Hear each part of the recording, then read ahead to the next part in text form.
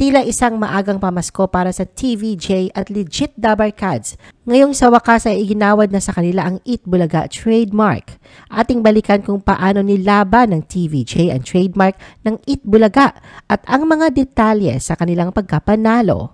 The Philippine Showbiz List presents detalye sa pagkapanalo ng TVJ sa Eat Bulaga trademark. Noong May 31, 2023, umalis ang main host na sina Tito Soto, Vic Soto at Joey De Leon o mas kilala bilang TVJ sa Eat Bulaga. Sa gitna ng mga banggaan ng production sa kanilang home studio ang tape na pinamamahalaan ni Romy Haloshos na may kontrata pa sa GMA Network. Kasama ang kanilang mga co-hosts ay lumipat ang grupo sa TV5 na nag-alok sa kanila ng kanilang original na noontime slot.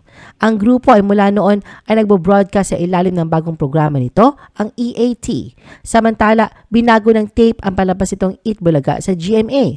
Nakakakuha ng bagong set ng mga hosts, ngunit napanatili ang sikat na format nito na nag-udyok sa TVJ na magsampa ng copyright at unfair competition noong June laban sa tape at GMA sa harap ng Marikina Regional Trial Court.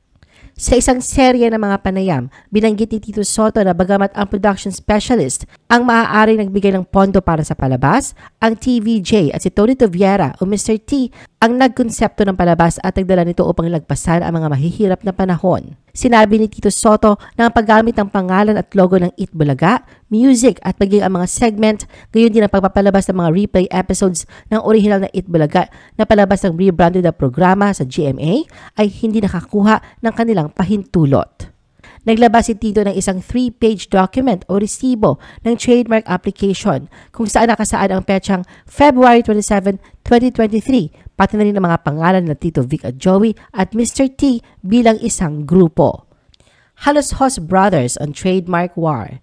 Pinanindigan naman ni John at Bullet Halos Hos na ang Tape Inc. ang nagmamayari ng trademark ng Itbulaga.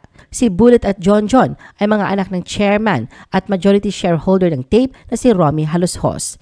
Hindi nagpatalo ang magkapatid na Haloshos sa resibong ipinakita ni Tito dahil ayon kay John John, may hawak sila mga dokumentong nagpapatunay na pagmamayari nila ang Eat Bulaga. Sa isang interview, ipinakita nila ang original copy ng mga logo na nakapangalan sa tape at nakarehistro sa Intellectual Property Office. Nakasaad din dito na nakarehistro ang naturang trademark sa pangalan ng tape mula pa 2013. Maging mga sikat na segments ng Itbulaga, gaya ng Bawal Judgmental, Pinoy Henyo at Kalye Serye ay nakapangalan din sa tape. Gayon din ang segments na Problem Solving at One for All, All for One. Tape asked IPOPHL to deny trademark application of TVJ. Matapos ilabas ang mga papeles, inapila ng Tape Inc. sa IPOPHL na huwag tanggapin ang mga aplikasyon ng TVJ para sa Eat trademark. Ayon sa kanila, itinanggi ng dating Pangulo na si Mr. T na alam niya at may pahintulot siya sa pagsasama ng kanyang pangalan sa aplikasyon ng TVJ noong February 27, 2023. Binigyang diin din ng tape na may dalawang aplikasyon ang TVJ para sa Eat trademark. Sa aplikasyon noong February 27, nakapangalan ito sa TVJ, habang sa aplikasyon publikasyon noong March 22, 2023, tanging si Joey De Leon lamang ang nakalagay na pangalan. Dagdag pa nila na hindi raw nakapasa ang mga ito sa mga pagsusuri sa identity of the applicant at nagdudulot ng malalaking pagkalito kung sino sa kanila ang tunay na may-ari ng Itbulaga trademark. Tape deceiving people, says Tito Soto.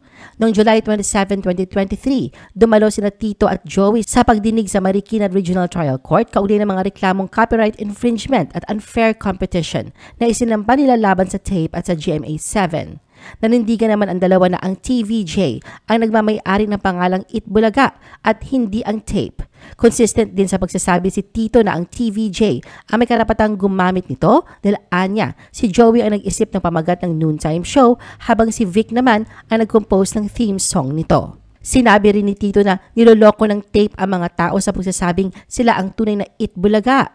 Pagkatapos ng hearing ay nakapanayam ulit si Tito ng media. Natanong siya kung nagmamatigas ba ang tape tungkol sa issue. Sinagot naman ito ni Tito na baka nga raw nagmamatigas ang mga ito dahil parating binabanggit ng abogado nito ang salitang trademark na anya magkaiba sa copyright na siyang ikinaso nila laban sa tape. Sa huli sinabi ni Tito na tiwala siyang papabura ng korte ang reklamo ng TVJ. Alam din daw ng taong bayan at ng Diyos kung sino talaga ang nag-imbento ng pangalang Eat Bulaga. Paulo Conte's speech about fake bulaga. Noong July 29, 2023, emosyonal ang mga bagong host ng revamped Eat Bulaga habang ipinagdiwang nila ang 44th anniversary ng longest-running noontime show. Bago pa man matapos ang episode, hindi napigilan ng actor at TV host na si Paulo Contis na maging emosyonal sa kanyang pahayag. Sa isang parte ng kanyang pahayag, sinagot niya ang mga ibinabato sa kanila, pati na rin ang pagtawag sa kanila na fake bulaga. Anya, naiintindihan nila yon pero masakit pa rin ito sa kanila dahil wala naman daw silang ginagawang fake. At kung pagbabasihan man daw ang mga ngiti na nakikita nila sa mga tao, hindi hindi raw yun peke. Sa Twitter, nirepost na ba ni Tito ang isang tweet na naglalaman ng fake bulaga statement ni Paulo. Suhestyon niya, bakit hindi na daw palitan ang pangalan na naturang noontime show. Joey on EAT competing with It Bulaga. Noong July 29, 2023, idineklara ng TVJ kasama ang legit Dabarkads na ang nasabing petsa ay National Dabarkads Day kung saan nagkaroon ng engranding celebration sa EAT ng TV5.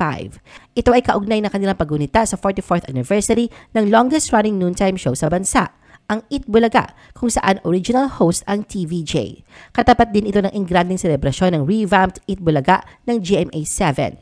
Kaakibat nito, mayroong pahayag si Joey De Leon sa Twitter noong gabi ng July 27, 2023 na naka-break daw sila ng record dahil sila lang daw ang show na katapat ang sarili ring show nila.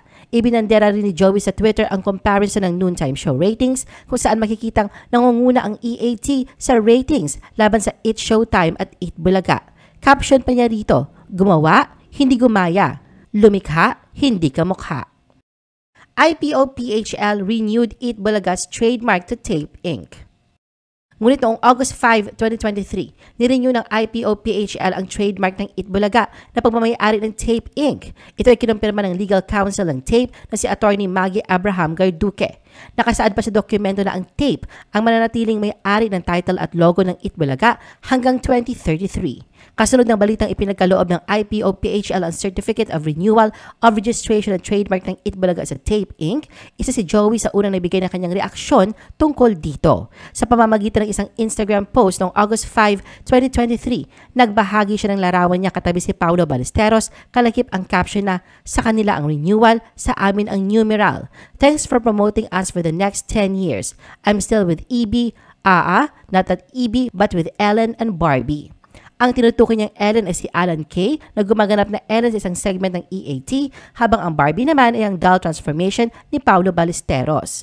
Hindi maitatanggi na may kinalaman sa issue ng Certificate of Renewal of Registration na ibinigay ng IPO sa Tape Inc. ang nasabing Instagram post ni Joey.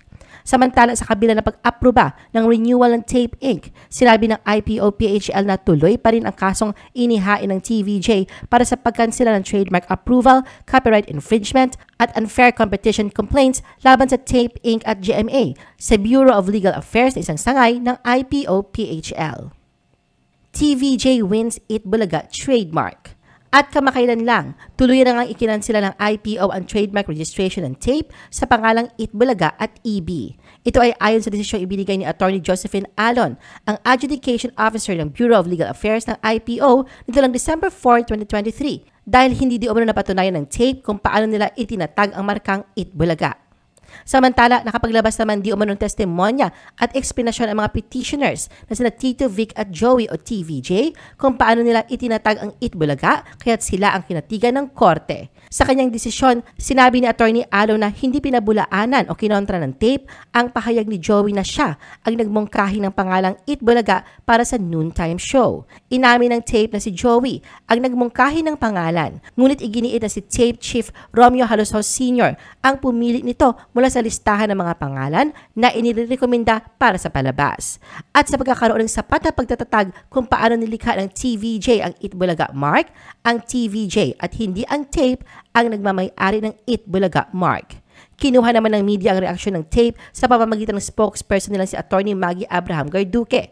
Ayon dito, hindi pa sila nakakatanggap ng kopya ng desisyon, pero kung totoo man daw ito, ayon sa mga patakaran, maaari mag-apila ang tape ng desisyong ito sa direktor ng BLA ng IPO. Kung hindi pa rin sila satisfied sa desisyon ng direktor, maaari pa rin nilang apilahan ito sa Director General ng IPO. Ang tape ay gagamitin ang lahat ng legal na hakbang o paraan upang baliktarin ang desisyong ito. Ang tanong naman ng kararami kung magagamit na ba kaagad nila ang titulong It Bulaga bilang kapalit ng EAT title ng kanilang noontime show sa TV5.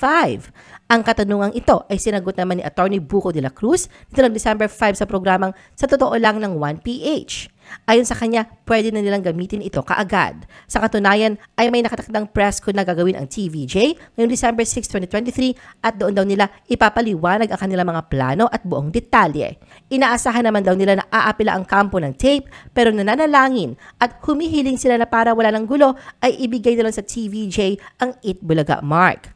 Dahil sinabi nga raw ng IPO na hindi unahan ang laban ng trademark, kundi kung sino man ang may likha nito ang mas may karapatan dito. Ibinahagi rin niya ang sayang na darama ng TVJ sa naging resulta ng kanilang kaso. Ayon kay Attorney De La Cruz, maagang pamasko daw kung ituring ng TVJ ito na lubos silang ipinagpapasalamat. I-post ang inyong comments at reaction sa baba. At huwag kalimutan na i-like at i-share ang video na ito. Gusto mo pa ba ng ibang showbiz videos? Panoorin ang aming iba pang top viewed videos. Para sa aming mga YouTube viewers, pumunta lang sa description ng video na ito o i-click ang link sa itaas ng screen. Para naman sa mga Facebook viewers, ay maaari ninyong hanapin ang mga link sa comment section ng video. I-follow nyo din kami sa Facebook at mag-subscribe sa aming YouTube channel. Thanks for watching!